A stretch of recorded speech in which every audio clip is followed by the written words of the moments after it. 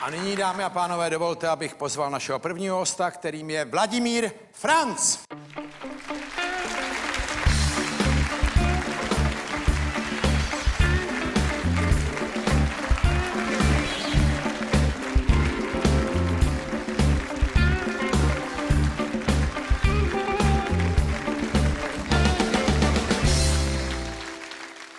Krásný dárek od pana France, stop vtipkování. To je takový grafický list ze sociálně kritického cyklu. To není nic proti humoru, to je o vtipkování. Ano, já to chápu. Tady vidíte blob, Ano, banku. ano, ale A tak je to dále. s osobním věnováním, tak já vám děkuji. Já nevím, jestli jste sledoval tu věždbu. E, Říkal jsem si, jestli se mám ještě chodit. No, hele, jste na tom zhruba všichni stejně. Ukazuje se, že to bude někdo neznámý. Ale měli bychom asi říct, že vy jste povoláním vystudovaný právník, ale přitom pracujete jako hudební skladatel a taky malíř, že jo? Ano, je to tak. A taky učíte na divadelní akademii. Ano, je to I tak. na hudební akademii. Je na, na filmový A ještě. filmový ještě. Ano, ale vy jste jaksi renomovaný hudební skladatel, který dostal řadu ocenění v oblasti vážné hudby, ale vlastně si občas povyrazíte i třeba pro semafor a podobně. Já bych to chtěl jenom říct, protože ne každý to možná ví, ona ta hudba není tak vidět. Ale na druhou stranu, jak jste přišel na to, že byste kandidoval na prezidenta, protože jsem někde čet, že to vzniklo částečně z takového happeningu. No, z happeningu nevím, ale je pravdou, že na konci července, kdy jsem se chystal malovat a skládat, najednou jsem se dozvěděl, že je jakási iniciativa. A tak jsem si říkal, je léto, že jo, a najednou, ale pod tou iniciativou, pod tím e, vyhlášením se začaly objevovat lajky a když jich tam bylo několik tisíc, tak si člověk řekl, že to asi nepřestává být legrace. Takže jsem e, si říkal, musím přijmout nějaké rozhodnutí. Ano nebo ne. Ano. A tak jsem se rozhodl, Že ano. ano. Teď já tady mám pro každého kandidáta pár Ano, otázek samozřejmě. takových, který dávám dopředu, aby No, si je každý prezident mohl promyslet, protože Ano, to není žádná legrace, že jo, tady jde o obranu země a tak. Čili otázka číslo jedna, jako případně vrchní velitel ozbrojených sil, jste připraven vydat rozkaz k vojenské obraně země? Uveďte příklad, za jakých okolností byste tak například rozhodl. E, Prezident e, o tom rozhoduje na návrh vlády. No, ne, ale jestli jste připravený takový uh, Jsem. rozkaz, jak si iniciovat případně a za jakých okolností? V případě ohrožení nebo napadení naší země. Napanej. Za ohrožení považujete co? Válečný e, stav vlastně ohrožení této země. No dobře, ale tak, takový příklad, co, co je tam míra toho ohrožení, plus minus? Je to už chvíle, kdy je třeba mobilizace. Já vím, no ale jestli byste mobilizoval kvůli tomu, že tu Němci sbírají houby na Šumavě, anebo Kvůli tomu bych rozhodně nezbíral. že nás jako. přepadla Paraguay. Já jsem posledně říkal Uruguay, já to říkal změním, jo. Uruguay, Paraguay, Teď no, dávám tak Paraguay, jako- abych to změnil. Kdyby nás přepadla Ráno Paraguay, plný letiště Paraguajců, ale no tak samozřejmě musíme, musíme, musí prezident vydat e, no, bo to jde, ale některý prezident byl s nima vyjednávat třeba na Ne, letiště. nebude že žádný vyjednávání. Rovnou. Koru Paraguaje, tam se to nevyplácí. jak? Eh, Jde o to, že to by měl udělat se souhlasem na návrh vlády. Ano, ano, ano. A víte, pane Krauzi, ale že bych vás pak povolal taky. A Víte, pane Franz, že já bych tady asi nebyl.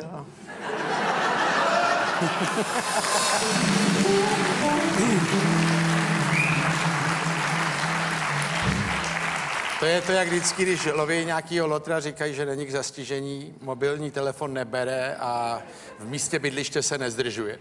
Takže to s dovolením, Ale víte, proč bych vás povolal? To nevím, já bych na to nečekal asi. Dobrá, tak nic. Tak pojďme na další. Řekněte tři jména lidí, které byste navrhl do Rady České národní banky a dosud tam nejsou. Kdyby došlo k tomuto, kon, eh, konzultoval bych jako prezident republiky s, tam? s eh, významnými náro- národohospodáři a eh, bankovní rada by měla být postavena tak, aby odrážela široké spektrum eh, jednotlivých eh, názorů. Jste takovej naučený teď, Ne, už, ne? no tak jako Nastudoval jste si to, je vidět. Nebo při, jste zodpovědný, jsem připravil jste se. zodpovědný člověk, ale konkrétní jména, já myslím, že je to předčasné. Asi jo, no tak já bych je rád slyšel. Teď je neuslyšíte, protože je to opravdu předčasné a ještě by se řeklo, že aniž ještě jsem kandidátem, už Že už- rozdávám trafiky. Jo, jo, to je pravda. Dobře, tak mám pro vás jinou otázku. Jmenujte tři soudce, které byste rád navrhl do ústavního soudu.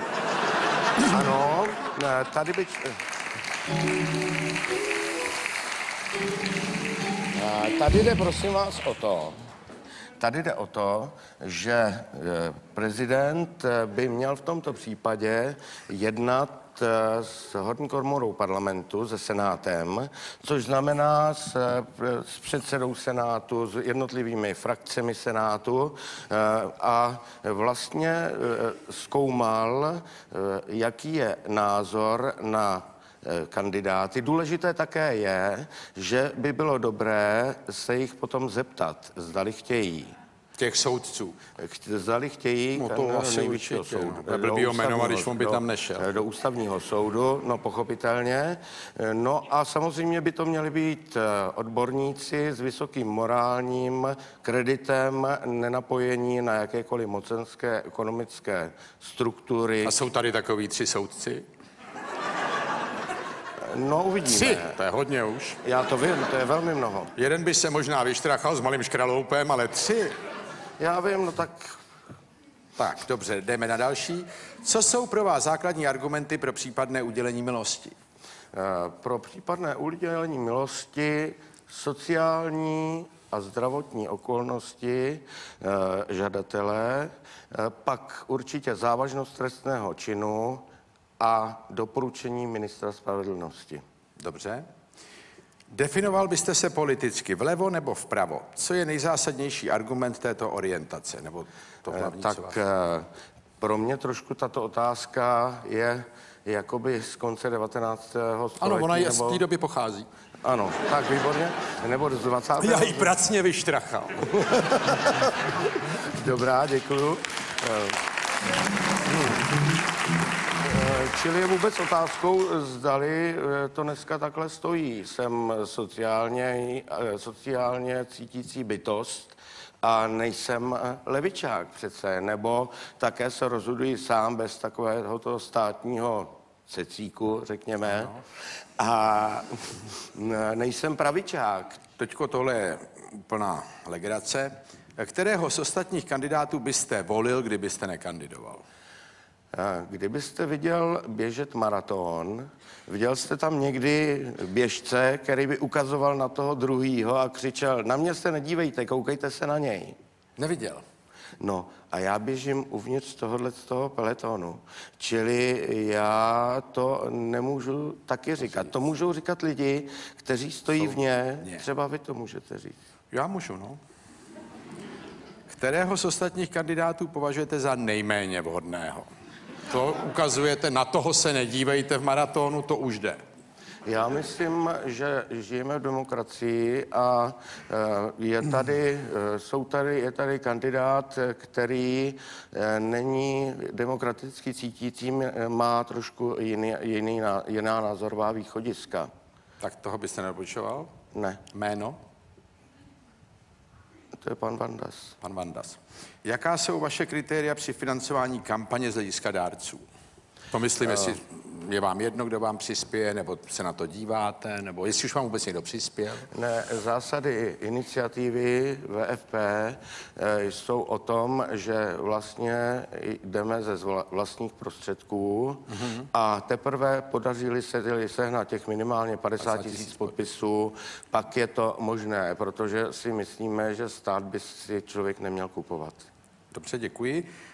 Jste věřící a podotázka je, jaký je váš názor na církevní restituce, ty, co jsou současný. Ano, eh, já mám eh, takový zvláštní poměr. Já, eh, já si myslím, že pán Bůh je, rád bych to věděl, ale bohužel to nejde. Já taky, kdybych to věděl, No. jako spoustu věcí bych si podle toho zařídil. Ano, no. Takže...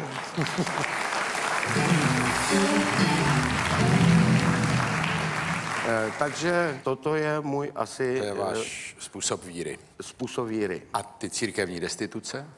Eh, Já si myslím, že majetek, který byl církvi vzat, nechť je navrácen, Jde o to, eh, aby vláda z dostatek vysvětlila, eh, čím se toto liší od eh, vlastních restitucí a pak je pro mě otázkou časový horizont toho.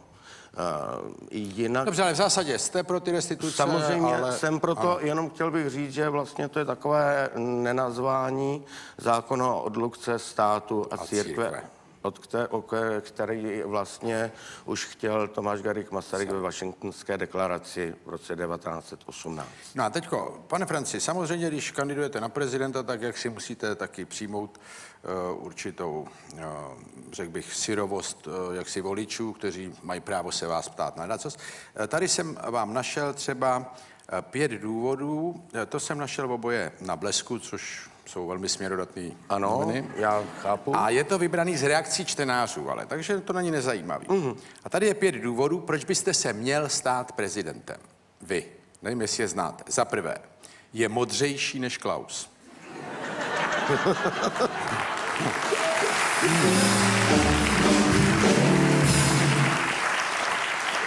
Druhý důvod, proč byste se měl stát prezidentem, nekrade tušky.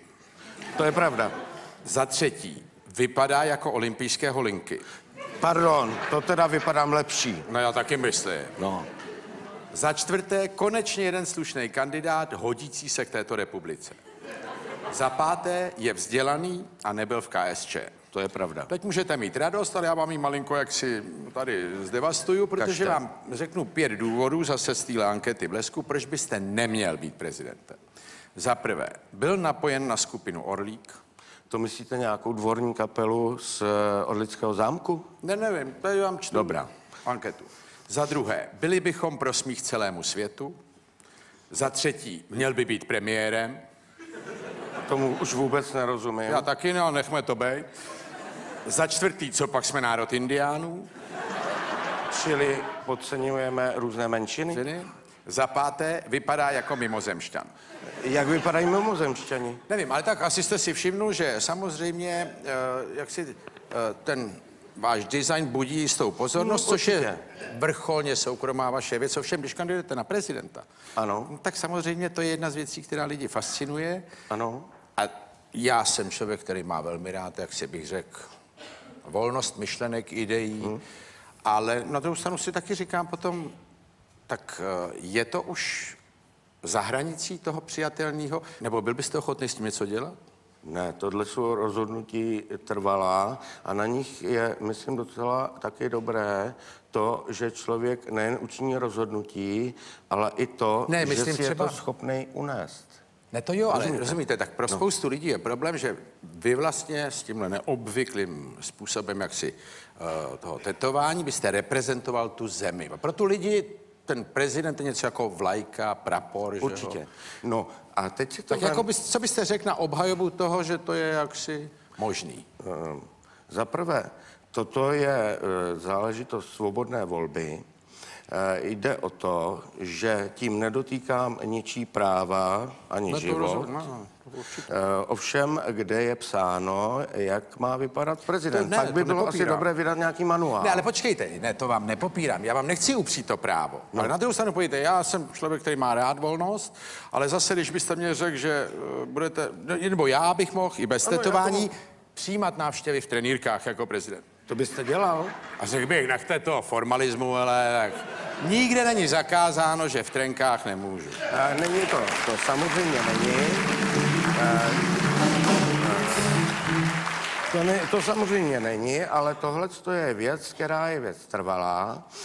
E, toto je věc, která skutečně je věcí osobního názoru, je to rozšiřování estetického horizontu.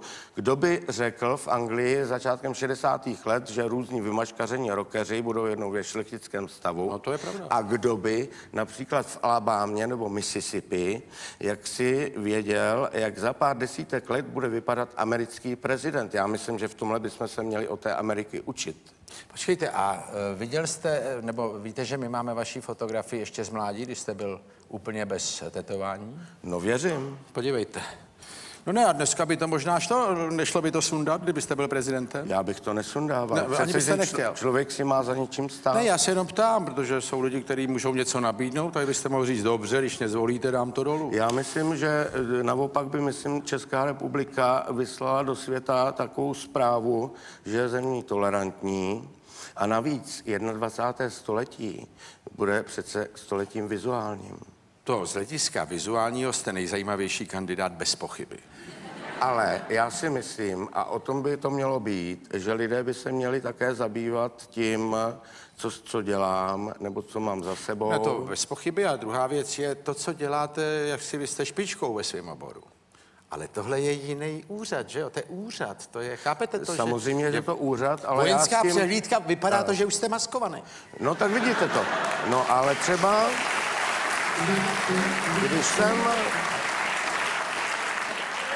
eh, Musím říct, že sice jsem se nepohyboval v takovýchto sférách moc, ale když jsem dělal předsedu akademického senátu všech tří fakult, Ano. tak jsem provázel třeba holandskou královnu po fakultě a taky jsem neměla žádnou Ne, to potíž. ne, ale to, no, proč by měla mít potíž? No právě. Ale ještě mě řekněte, pak je jedna z věcí, na co se e, ptají hodně lidi, e, protože jak si vidět to tetování tady, tak oni se vyptávají, co ještě máte jaksi na sobě. Co tím máte na mysli? No jako jestli ještě něco zajímavého je na vás k vidění jinde než e, jaksi na obliči. Já myslím, že ne. Ne. Ne. To je hezký, ale jako...